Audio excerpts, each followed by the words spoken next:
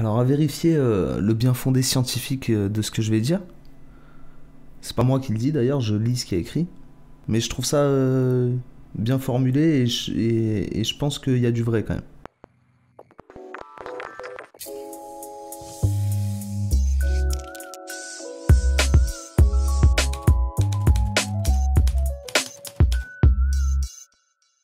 Tout ce qui nous entoure a un côté humoristique, et c'est la suite qu'il faut vérifier.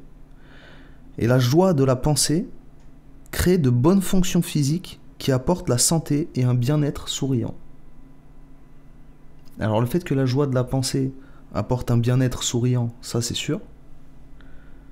C'est sur le fait que ça apporte des bonnes fonctions physiques, je suis pas certain, mais euh, à vérifier. Je pense qu'être souriant, ça peut être bon euh, pour le physique, je sais pas. Une autre façon de bien-être, c'est de s'abstenir de réaction. Des fois, c'est bien de juste pas réagir. On t'apporte une info.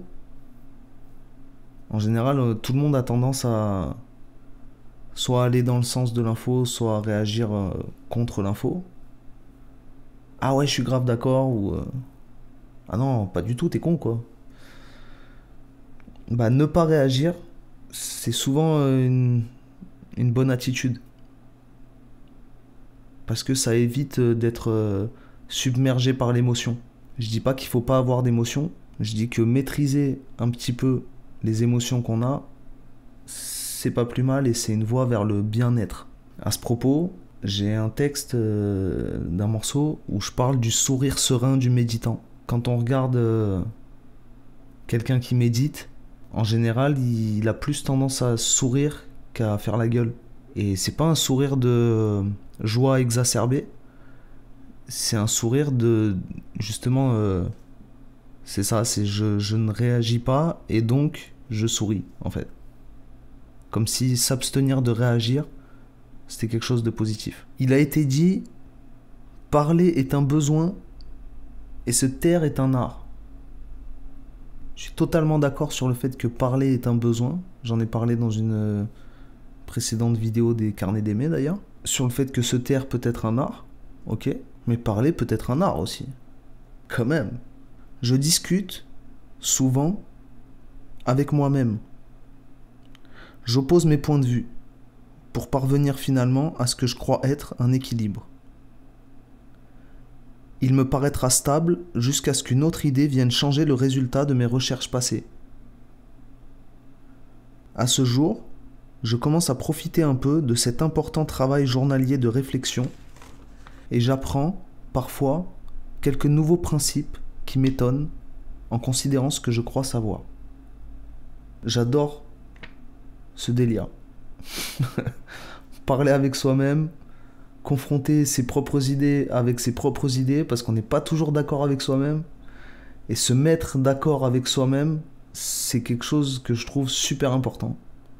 Se mettre en harmonie avec soi-même, c'est quelque chose qui peut que amener du bien-être en fait. Et j'apprends parfois aussi quelques nouveaux principes qui m'étonnent en considérant ce que je crois savoir. J'apprends. Apprendre, évoluer, c'est quelque chose de primordial selon moi dans la vie. Pour aller vers un bien-être. Et sinon, un autre truc qui peut me permettre d'aller moi vers un bien-être, c'est ce que c'est C'est si toi tu likes la vidéo, tu t'abonnes, tu viens me rejoindre sur les autres réseaux et tout. Ça, c'est un truc, franchement, ça va me permettre d'aller vers un bien-être, mais du- d'une ampleur euh, phénoménale, tu vois. Blague à part, si t'es toujours pas abonné, un petit clic, ça mange pas de pain. Moi, ça me fera super plaisir. Je te balance la suite de la vidéo tout de suite. Le sage a dit Il faut que l'esprit voyage et contemple si l'on veut que le corps soit bien.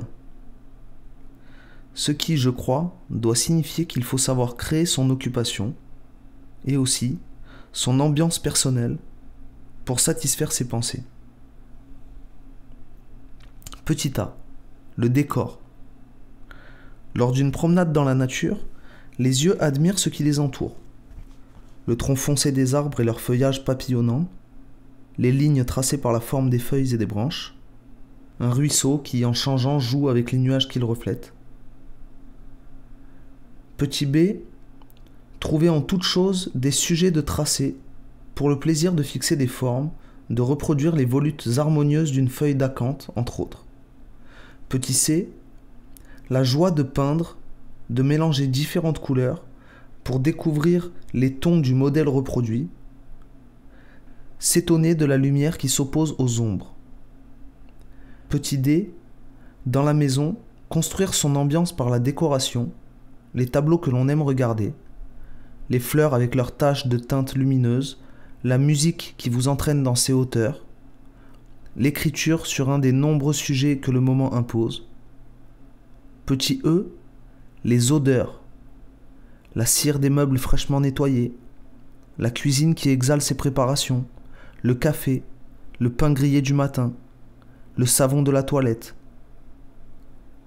Et pour protéger ce travail, à l'extérieur des fossés des remparts, à l'intérieur des ciselures des jardins, dit le sage. Alors là, je vous ai lu un long passage, mais parce que je trouve ça super intéressant. La base, c'est il faut savoir créer son occupation et aussi son ambiance personnelle. Alors après, il y a des conseils de toutes sortes pour la vue, pour l'ouïe, pour l'odorat.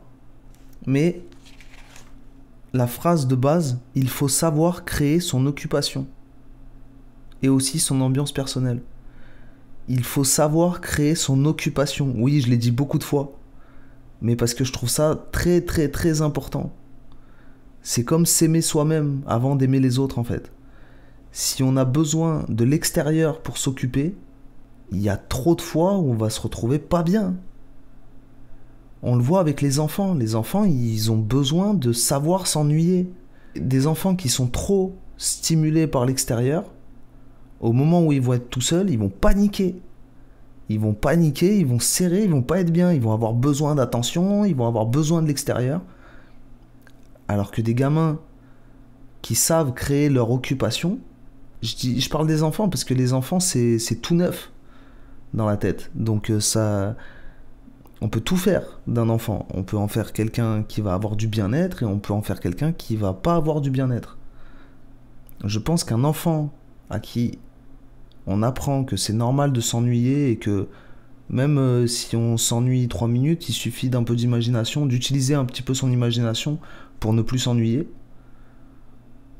Et ben je pense que ça va créer des humains euh, adultes qui seront beaucoup plus dans le bien-être il faut savoir créer son occupation et son ambiance.